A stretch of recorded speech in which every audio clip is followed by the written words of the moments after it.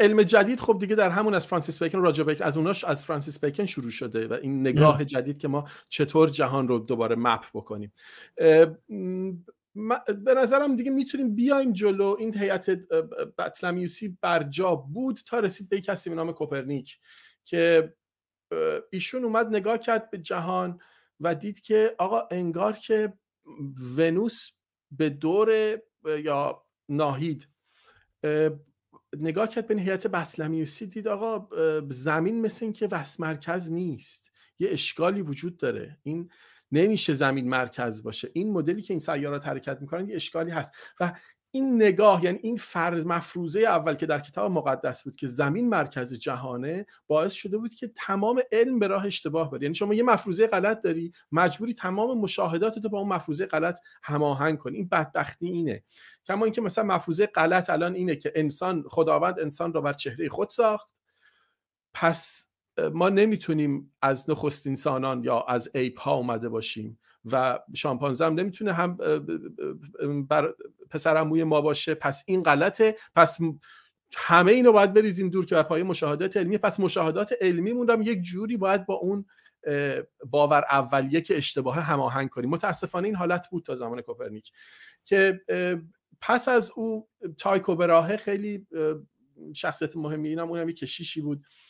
خیلی جالبه غم انگیزم هست براهه اومده بود سالها عدد نوشته بود و جنین رفتار ستاره ها رفتار سیارات رو رصد کرده بود و اینها رو دونه به دونه با detail نوشته بود که مثلا در فلان ماه مشتری انقدر حرکت کرده در این ساعت انقدر حرکت کرده این مدارش بوده کشیده بود و یک حجم عظیمی از data به قول معروف به قول scientist ا جمع کرده بود که خب data بی بهتر یعنی یک scientist وقتی data در اختیارش بذاری همه کار می‌تونه بکنه بدون data که به درد نمی‌خوره.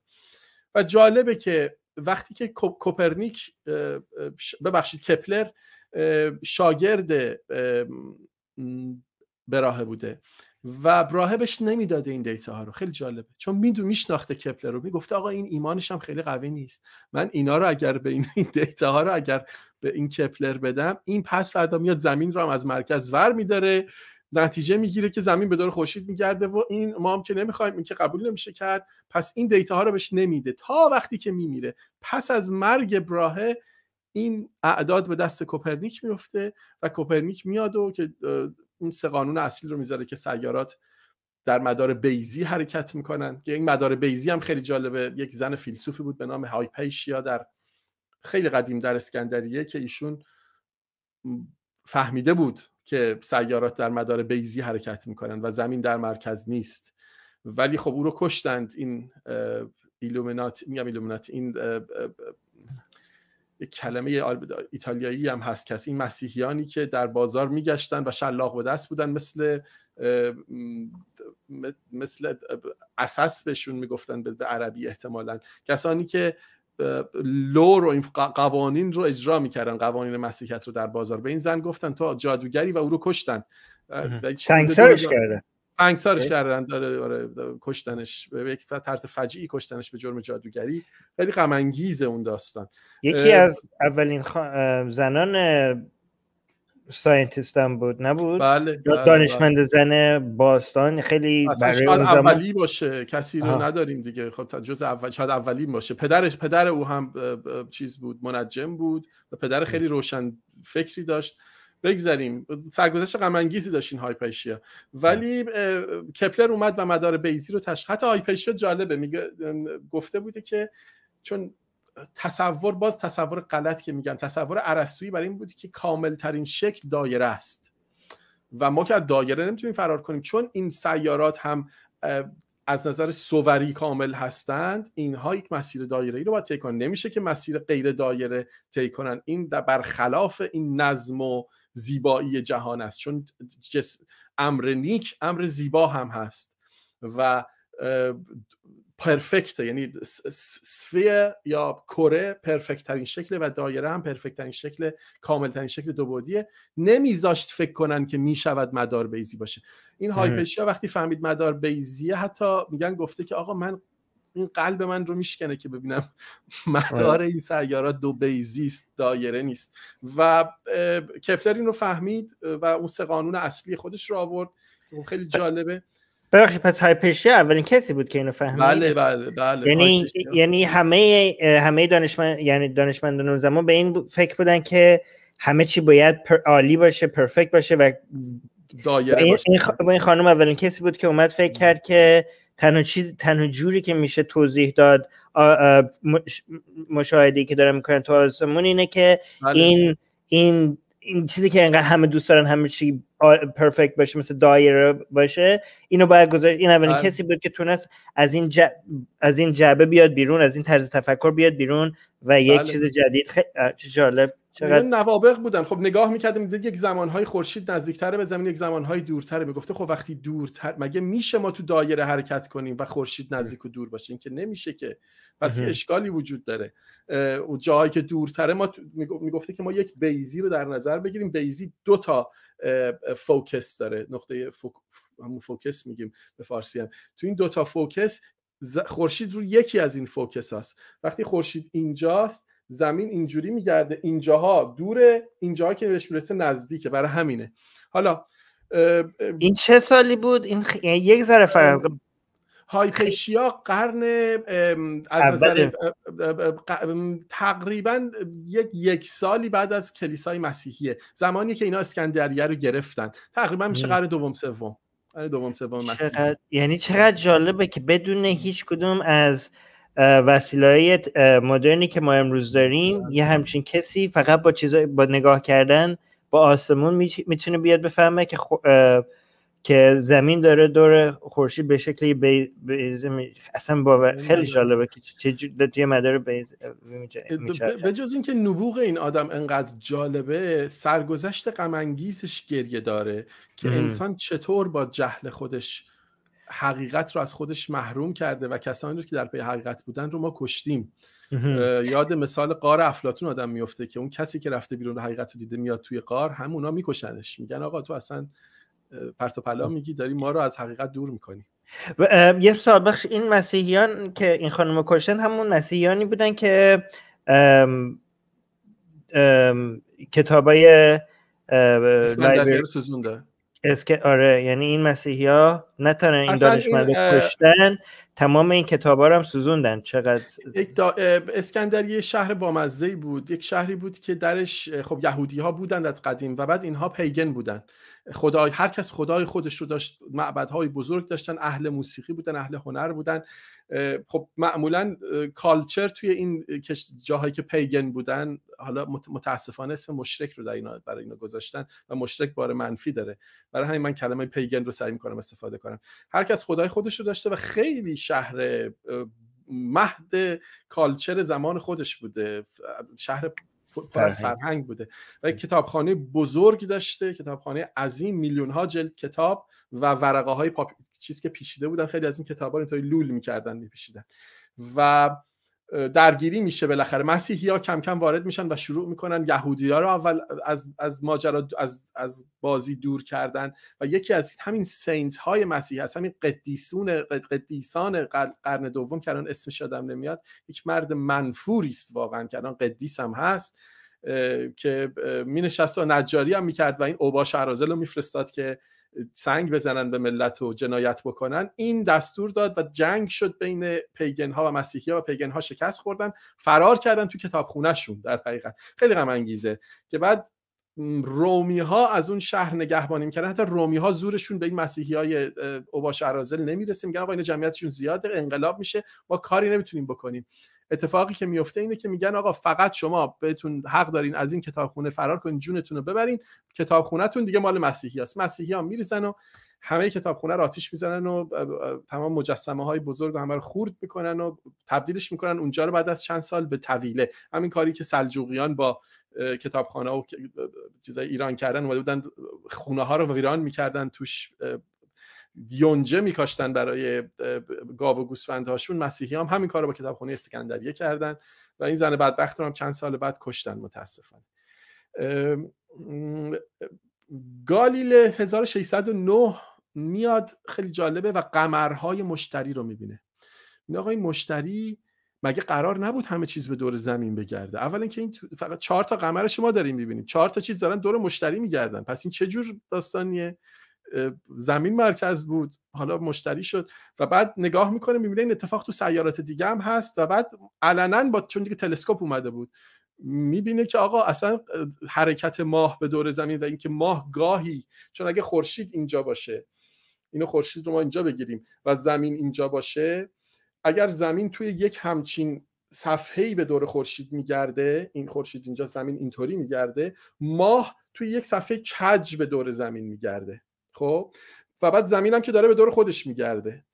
این مدلی که ماه میگرده به دور زمین توی یک پلین دیگه و این مدلی که زمین به دور خورشید میگرده کاملا توضیح میده که چرا ماه 14 روز هست 14 روز نیست. روش دیگری برای توضیحش نیست. و اینها رو رفت بیان کرد و کلیسا هم که همین دامنیکن های عزیز اینها گفتن آقا کفر میگی و این برخلاف کتاب مقدسه و اصلا مگر می‌شد یک محاک... یک برشت یک بتول برشت یک چیزی داره یک نمایشنامه داره محاکمه گالیله. که تو اون خیلی جالبه گالیله میاد میگه آقا من کشف کردم اینجا به شما دارم نشون میدم این ماه داره میگرده. اینا این این تلسکوپ فقط شما باید چشمتو بذاری اینجا این چشمتو که بذاری اینجا میبینیش حقیقت رو می‌بینی. بیا اینو نگاه کن. و کشیشه میگه آقا مثلا احتیاجی ندارم چشمم اونجا بذارم. من حقیقت خوب این کتاب مقدس گفته. من اینو نگاه بکنم چه فایده ای چه فرقی حقیقت که اینجاست. حالا من چه احتیاجی دارم اینو نگاه کنم؟ نگاه بکنم یه چیزی ببینم خب از اشتباس اگه چیزی ببینم که اشتباس اگرم در جهت کتاب مقدس باشه که خودش کتاب مقدس گفته من لزومی ندارم ببینم. این, این حرف خیلی شبیه حرف البته حرفی که مسلمانان بعضی میگن عمر عمر میزه دقیقا. که کتابا رو سوزوندن. عمر گفت اگه تو قرآن هست خب که تو قرآن هست پس لازم نداریم بسوزونیمش.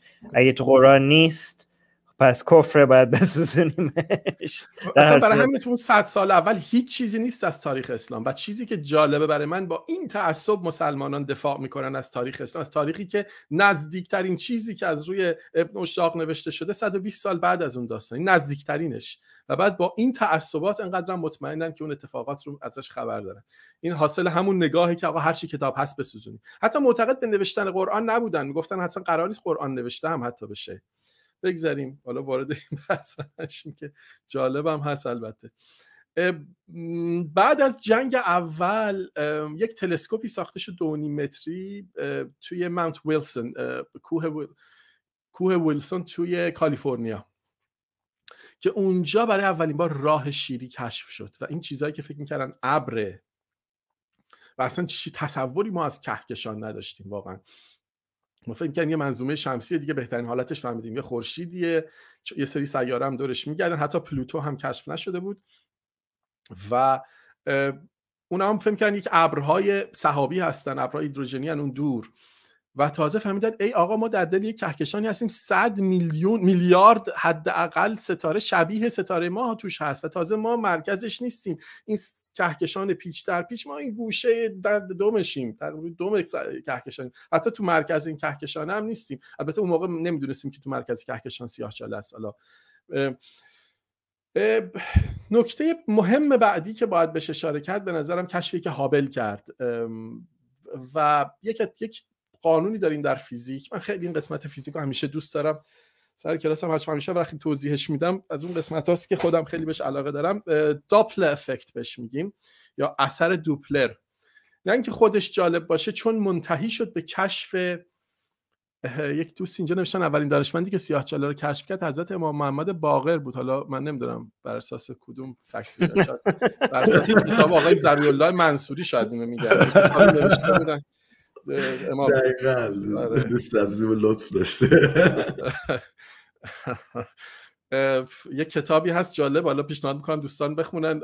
عالم جهان شیعه امام جعفر صادق. تمام علم جدید رو جناب منصوری هدیه دادن به آقای امام جعفر صادق. بله اینم شاید ازشون گفتن.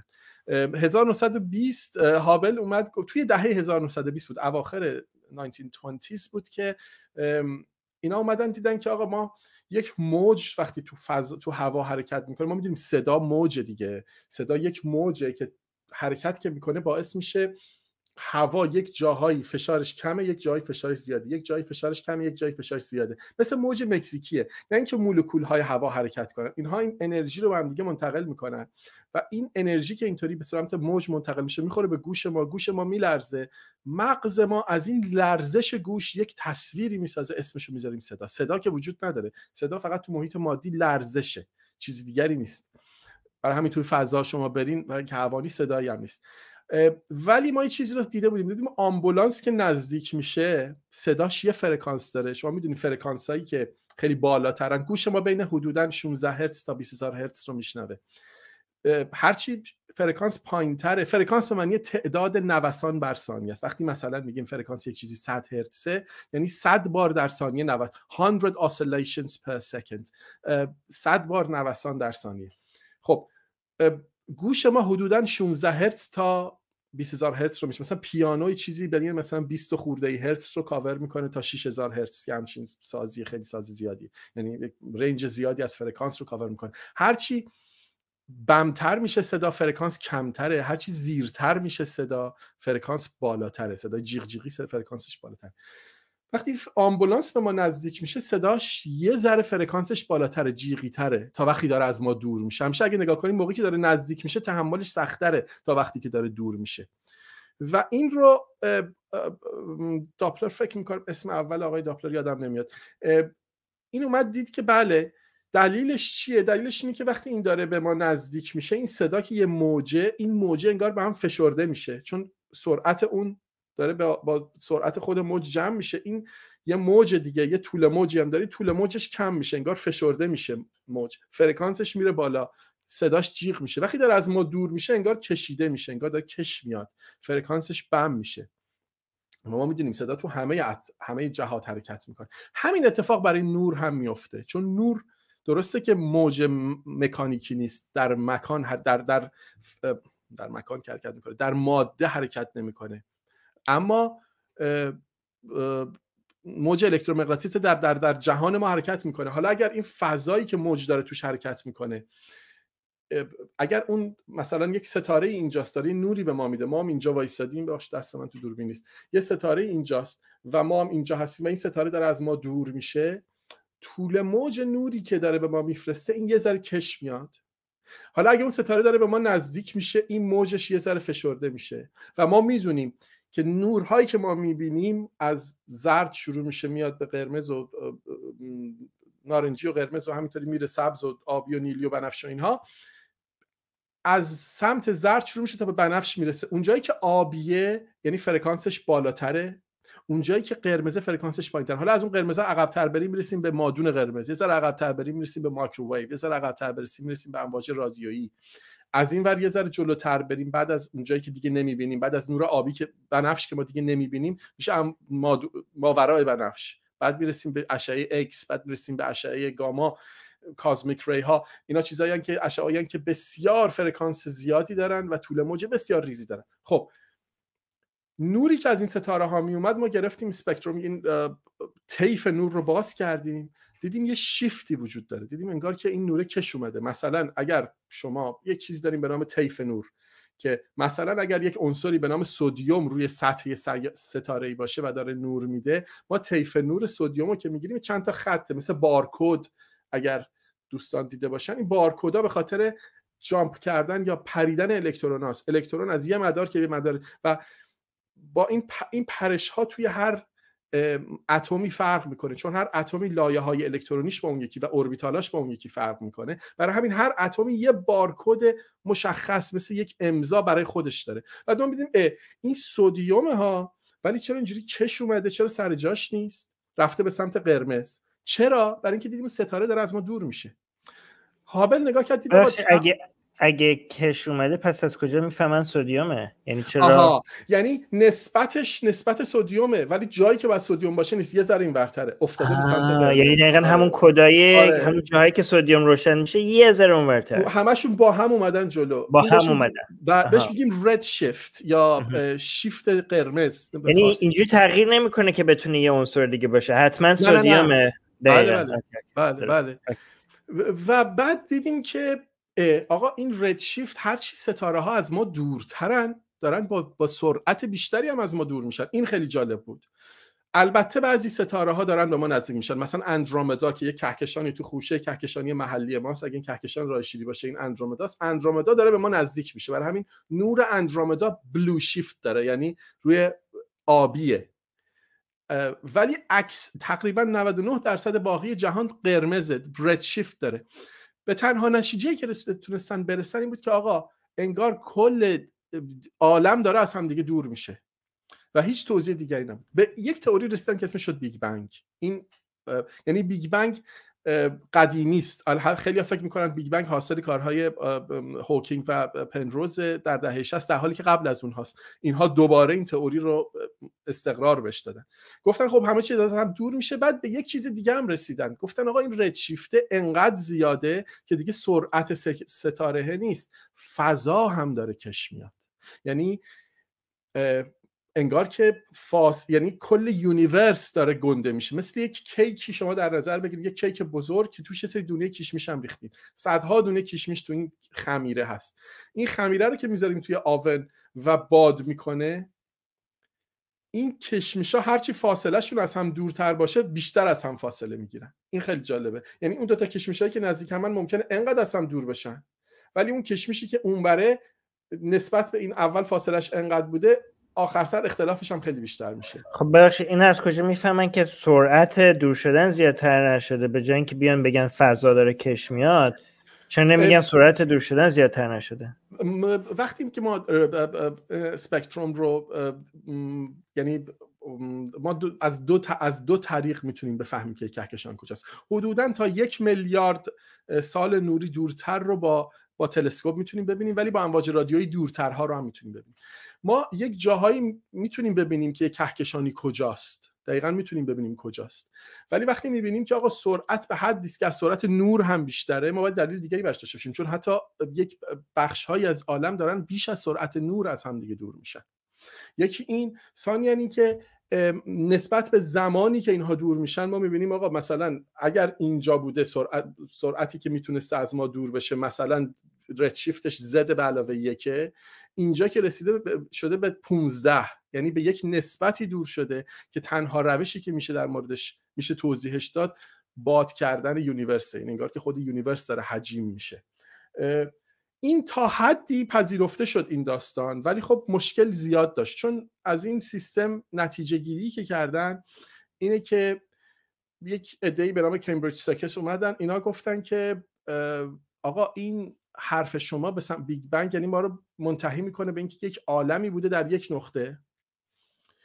و این آخر میشه داستانی که این خداپرستا میگن. یعنی واقعا یه عده اینطوری فکر کردن فکر کردن Big Bang ما رو به سمت یک مدل transcendental ی از این جهان میرسونه که ما اصلا قرار نیست علم به اونجا برسه. علم اون وقت به پرت و پلا می‌رسه علم. پس ما بیایم یک مدلی توضیح بدیم که اصلا لزومی به Big Bang هم نباشه.